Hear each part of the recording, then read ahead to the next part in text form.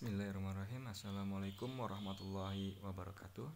Selamat siang anak-anakku, anak kelas 10 IPA Pada pertemuan kali ini kita masuk ke materi ya, Keanekaragaman Hayati di part 3 Oke, sebelum kita mulai pembelajaran kali ini Alangkah baiknya kita membaca doa ya Menurut kepercayaan kita masing-masing. Berdoa dipersilakan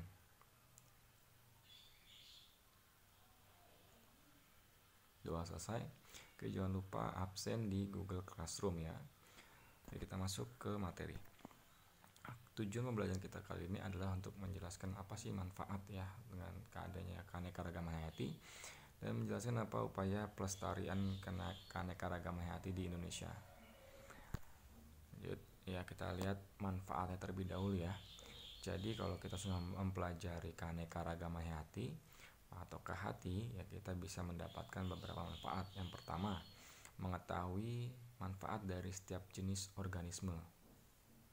Yang kedua, mengetahui adanya saling ketergantungan di antara organisme satu dengan yang lainnya. Yang dimaksud dengan uh, keanekaragaman ekosistem ya karena sudah ada hubungan timbal balik antara organisme dengan lingkungannya. Lalu yang ketiga, memahami ciri-ciri sifat setiap organisme ya mulai dari gen, spesies itu kan memiliki ciri-ciri sifat-sifat yang muncul dari organisme tersebut. Lalu memahami adanya hubungan kekerabatan antar organisme. Ya, ini kedekatan satu keluarga atau tidak ya. Seperti itu.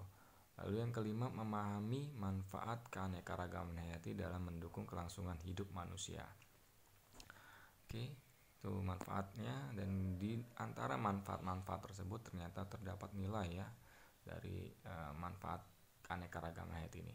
Yang pertama dalam nilai biologi, di mana nilai biologi ini uh, seperti kebutuhan pangan ya, sandang, obat-obatan, bahan bangunan dan oksigen itu hampir 100% berkat jasa keanekaragaman hayati.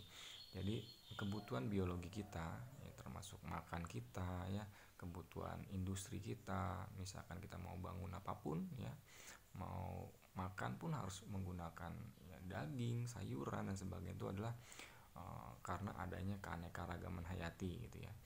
Lalu yang kedua dari nilai pendidikan. Nah, di sini di dalam tubuh makhluk hidup tersimpan sumber gen yang secara alami telah sesuai dengan alamnya serta menjaga plasma nutfah atau sumber gen itu sendiri ya di mana memberi peluang untuk mengembangkan penelitian demi pemulihan keanekaragaman hayati yang sedang menyusut. Jadi uh, dari dalam nilai pendidikan ini kita bisa memanfaatkan uh, keanekaragaman atau gen yang di dalam uh, suatu organisme untuk kita kembangkan kembali ya untuk mencegah kepunahan dan sebagainya. Seperti itu. Lalu yang ketiga, nilai dari estetika dan juga budaya. Jadi keanekaragaman hayati juga memberikan pemandangan alam yang indah ya. Kita apalagi di Indonesia ya. Gunung ya terus ada lautan ada uh, sungai ada rawa dan sebagainya. Di Indonesia pun hampir semuanya ada. Ya sebagai tempat wisata biasanya itu juga dikunjungi oleh kita sebagai manusia. Lalu selain itu hewan dan tumbuhan yang unik dapat dijadikan koleksi dan hiburan bagi manusia.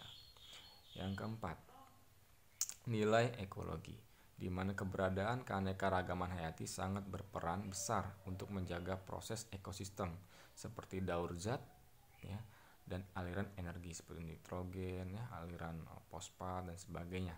Selain itu khusus keanekaragaman hayati pada tumbuhan mempunyai peran besar untuk menjaga tanah ya dari erosi dan juga untuk proses fotosintesis pastinya maupun stabilitas iklim itu antara hubungan uh, makhluk hidup atau organisme dengan lingkungannya. Itu yang disebut dengan nilai ekologinya. Lalu yang kelima ada nilai religius ya. Di mana keanekaragaman hayati berfungsi untuk mengingatkan kita sebagai manusia akan kebesaran Tuhan yang Maha Esa yang telah menciptakan alam raya dengan keindahannya. Jadi itu adalah salah satu uh, nikmat ya yang bisa kita rasakan. Kita bersyukur bahwa kita bisa mengolahnya dengan baik seharusnya ya alam ini sehingga kita bisa uh, memberikan uh, manfaat untuk alam dan juga untuk manusia sebagai kita sendiri untuk anak cucu kita di masa depan seperti itu. Oke untuk pelestariannya ya untuk keanekaragaman hayati di Indonesia itu ada dua di mana yang pertama itu pelestarian dengan in situ itu in situ itu artinya uh, di habitatnya artinya gini suatu organisme atau makhluk hidup mau itu hewan ya itu biasanya dia dilestarikan di tempat asalnya ya di tempat asalnya. Itu itu disebut dengan institu. Nah kayak saya katakan sini di habitatnya jadi tempat asli dia di sana dan dilestarikan di sana. Contohnya ada suaka marga satwa untuk komodo di Taman Nasional Komodo. Ya pasti dia sudah ada di Pulau Komodo sendiri gitu kan lalu ada suaka marga satwa untuk badak bercula satu itu juga ada di Taman Nasional Ujung Kulon terus ada pelestarian terumbu karang contohnya ya di Bunaken dan lain sebagainya lalu ada juga uh, pelestarian yang ex situ artinya tidak hanya di habitat tetapi dipindahkan ke tempat lain yang memiliki uh, kecocokan pada organisme tersebut. Contohnya kebun raya ya dan juga kebun koleksi untuk tumbuhan ya, contohnya tumbuhan langka dan juga untuk melestarikan pasma nutfah ya. Terus juga ada penangkaran jalak Bali di kebun binatang dan kebun binatang di Indonesia juga ada gitu kan. Itu salah satunya yang di itu artinya dia ditempatkan hewan-hewan dari bukan habitatnya atau bukan tempat aslinya tadinya terus dipindahkan ke suatu lokasi yang bisa dia hidup di sana seperti itu disebut dengan pelestarian ex situ Oke, uh, untuk pertemuan kali ini kita habiskan hanya sampai sini saja gitu ya. Dan ada tugas untuk kalian. Yang pertama, apakah eh, sorry, pertama jelaskan pengaruh kegiatan ya karena kita sebagai manusia ini pasti yang mengatur mengelola bumi ini kan. Jadi pengaruhnya terhadap keanekaragaman hayat itu apa saja gitu ya. Yang kedua, jelaskan pengertian swaka marga satwa, terus cagar alam, taman nasional, taman wisata alam. Lalu berikan contohnya. Seperti itu. Oke, tugasnya seperti biasa dikumpulkan di Google Classroom. Untuk pertemuan kali ini saya cukup sampai sini dulu. Kurang lebih yang mohon maaf ya. Wassalamualaikum warahmatullahi wabarakatuh.